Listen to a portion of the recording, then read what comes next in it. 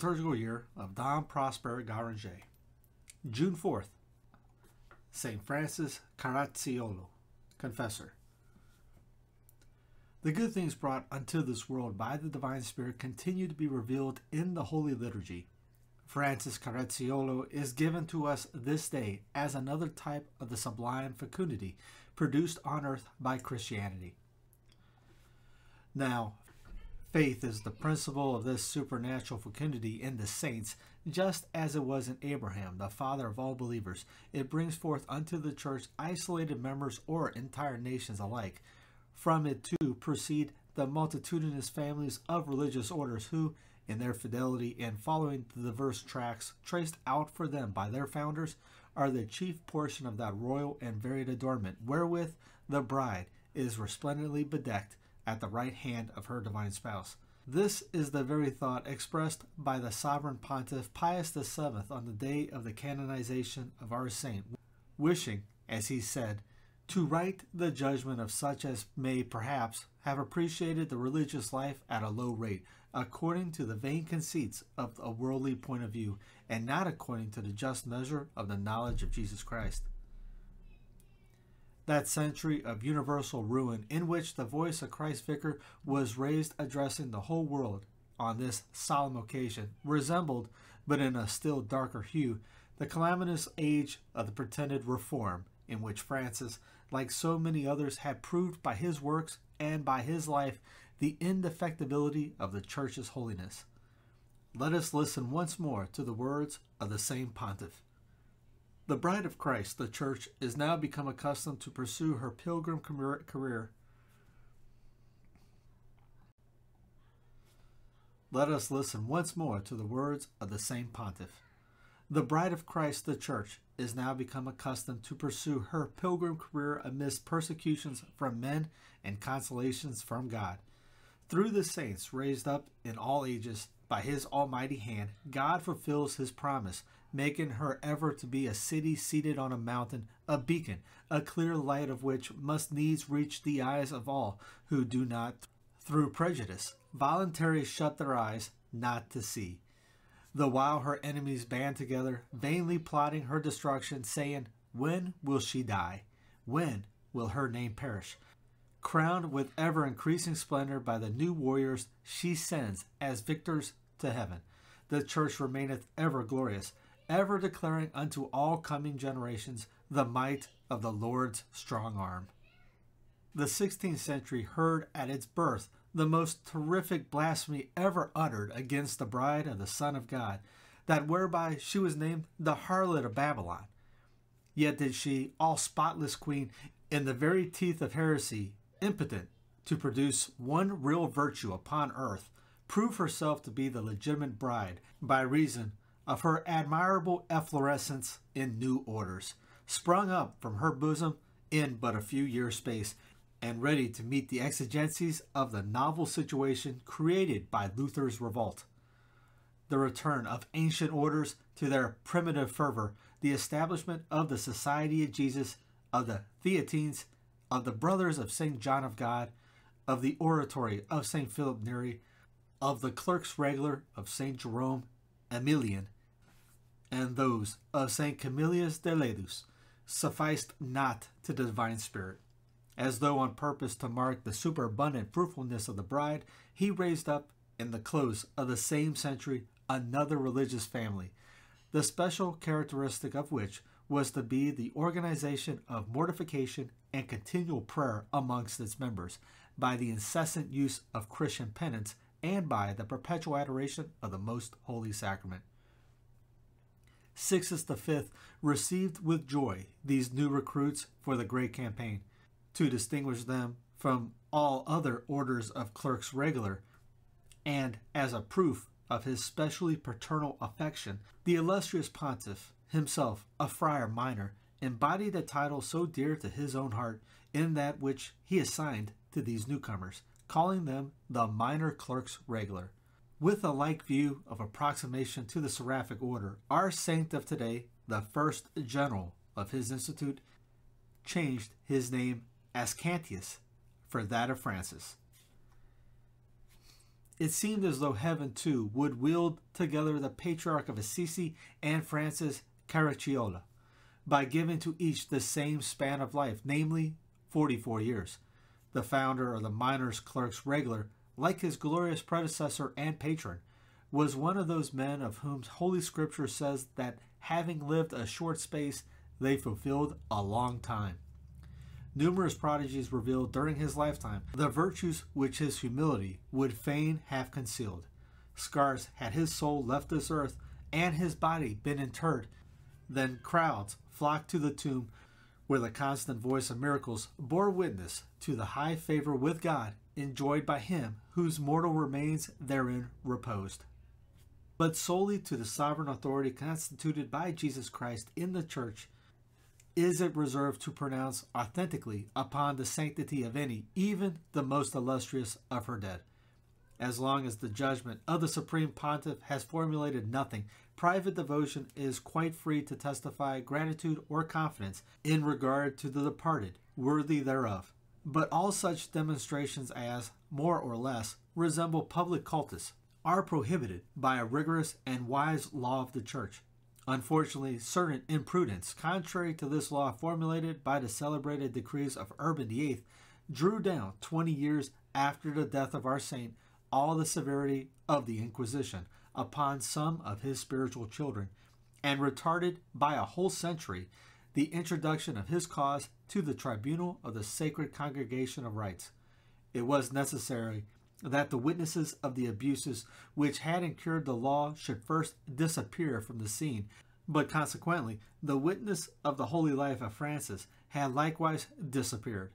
Being therefore obliged to recur to more auricular testimony in her pronouncing of judgment on the heroic virtues practiced by him, Rome now exacted from ocular witnesses the proof of four instead of the usual two miracles required in the process of beatification.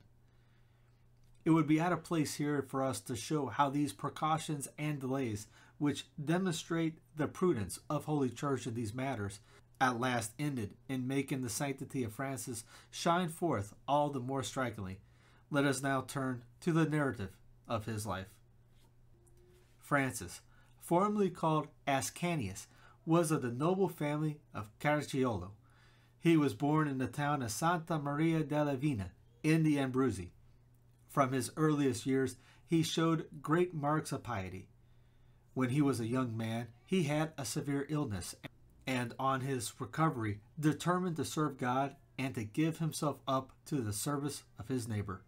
He betook himself to Naples, where he was ordained priest enrolled himself in a devout confraternity, and gave himself up to the contemplation and the gaining of souls to God, in which work he showed himself an unwearied comforter to such persons as were condemned to death. It came to pass that those two great servants of God, John Augustine Adorno and Fabricius Caracciolo, wrote a letter to a certain person wherein they exhorted him to share in the foundation of a new religious institute. This letter came, by mistake, to be delivered to Francis Caracciolo. The newness of the idea and the strange ways of God's providence took possession in his mind, and he joyfully added himself to their company. They withdrew themselves to the solitude of the Camaldoli, and there concerted the rules of the new order. Thence they went to Rome and obtained the confirmation of their work from Sixtus V, who wished that they should be called minors clerks regular, since they added to their three accustomed vows a fourth, binding themselves not to seek preferment in the church. Having made his solemn profession, Ascanius Caracciolo, moved by the special love and devotion he had to the holy Francis of Assisi, took the name of Francis. After two years, John Adorno departed this life and Francis, against his own will, was made head of the order, in which office he gave a brilliant example of all virtues. Devoted to the prosperity of the Institute, he earnestly sought the blessing of God upon it by assiduous prayers, tears, and constant maceration of his body. In this work, he thrice traveled to Spain in the guise of a pilgrim, begging his bread from door to door. In these journeys, he suffered very great hardships and was wonderfully helped by the Almighty, especially in this instance. The ship in which he was, being in great danger, he saved it by his prayers. He had to toil hard in these countries to attain his wishes, but through the noble generosity of the most Catholic kings, Philip II and Philip III, he overcame, with his fortitude of soul, the opposition of all that withstood him, and founded several houses of his order, which he eventually did in Italy likewise. He so excelled in humility that when he came to Rome, he betook himself to an almshouse and there chose to be associated to a leper. Moreover, he firmly refused all the ecclesiastical dignities offered to him by Paul V. He preserved his virginity unspotted, and when certain shameless women set themselves to attack his chastity, he took the occasion to gain over their souls to Christ. Towards the most divine mystery of the Eucharist, he was drawn with burning tenderness of love, and would pass almost whole nights without sleep in adoration. This holy custom he established in his order to be kept up forever as its peculiar mark. He was a zealous propagator of the cultus of the Virgin Mother of God. He was all aflame with the love of his neighbors. He was gifted with prophecy and the discerning of spirits. In the forty fourth year of his age, whilst he was continuing long at prayer in the holy house of Loretto, it was made known to him that the end of his earthly life was at hand. He straightway took his road to the Abruzzi and was there seized with a mortal fever at the house of the disciples of St. Philip Neri in the town of Agnone. He received with great devotion the sacraments of the church, and upon the day preceding the nones of June in the year 1608, it being the eve of the feast of Corpus Christi, he most calmly fell asleep in the Lord. His sacred body was carried to Naples and there honorably buried in the church of St. Mary Major, where he had laid the first foundations of his order, and he became distinguished for miracles. Pope Clement XIV enrolled his name with solemn pomp amongst those of the blessed, and Pope Pius VII, in the year 1807, finding his mighty prodigies continue, added it to the list of the saints. Well was thy love for the divine sacrament of the altar rewarded, O Francis. Thou hadst the glory of being called to the banquet of our eternal home at the very hour when the church on earth was chanting the praises of the sacred victim at the first vespers of the great festival that year by year hails this mystery of mysteries. Thine own feast day occurring, as it ever does, close to this solemnity of Corpus Christi, continues still to invite us men as thou wast wont to do in life, to come and peer in adoration into the depths of this mystery of love.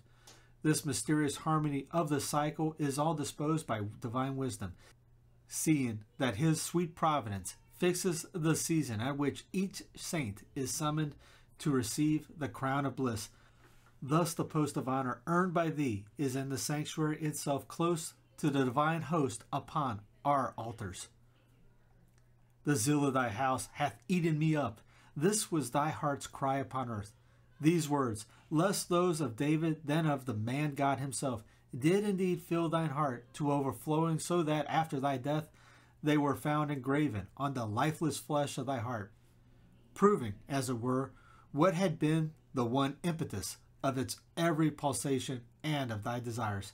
Hence resulted the need thou hast to continue prayer, as well as that ever correlative ardor of thine for penance, the twofold characteristic of thy religious family, and which thou wouldst fain have seen in the hearts of all. Prayer and penance. Yes, these two alone fix man in his right position before God. Vouchsafe to preserve this precious deposit amidst thy spiritual sons, O Francis, so that by their zeal in propagating the spirit of their Father, they may make it become the treasure also of the entire world.